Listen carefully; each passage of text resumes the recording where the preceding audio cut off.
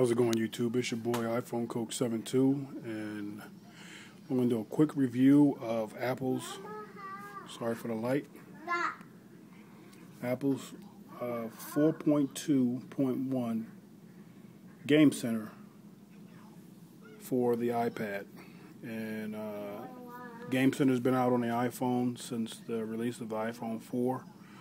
Um, Game Center is just um, a social gaming sharing network, very similar to that of um, uh, your PlayStation Network and your Xbox Live, where the users can earn achievements, compare achievements, and um, communicate with friends in their buddy list. You know, uh, based on uh, the games you play and how far, and how much you accomplish during that game. Just like the PlayStation Network, you earn trophies. Here, you earn Game Center achievements, just like on uh, Xbox Live. So I open it up, I'll launch Game Center, and when you first launch it, what happens is Game Center will start having all the latest and hottest games fly in from the side. If I go into the home screen, I'm sorry. That's my username. You can add me if you want. Um, as you load up, it'll start loading up different tiles for the hottest games, or not the hottest, but just games that works with Game Center. Not every game in the App Store works with Game Center, um, but as the new games come out and Game Center start to pick up, what I did notice is a lot of games are running updates for you to get so you can include or earn some achievements through Game Center. Okay, now uh, down the bottom here to give you tabs. This is your home network. You can see me, that's mine, that's my home page. It'll go to the next tab, takes me to my friends list, which they will load on the side here, and from this section here, you can compare and view your friends' uh, games, what they played last, you know, how far along they are, where are they. And uh, it, it's pretty good. Like I said, uh, it lets you communicate and compare games with friends. Next category down the bottom here, we jumped over to games.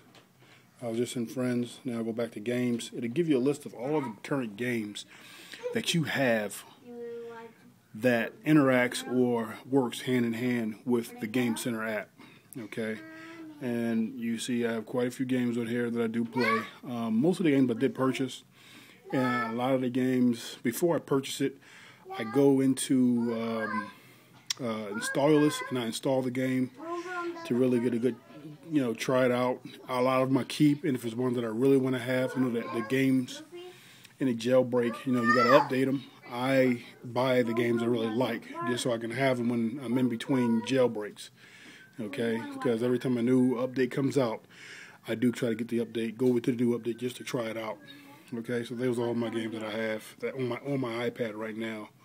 All right, next thing is requests. This right here is a section where you can send and receive friend requests through Game Center. Well, there's a plus sign up top if you know your friend's email address or you know his game center name, his or her game center name, you simply uh, type that in and send a request, and it'll pop up on to their device, their iPhone, iPod, or iPad, uh, informing them that you want to be their friends. So, um, Game Center is something that uh, Apple was talking about a while back when they want to take over the social, you know, the gaming, make it a gaming platform.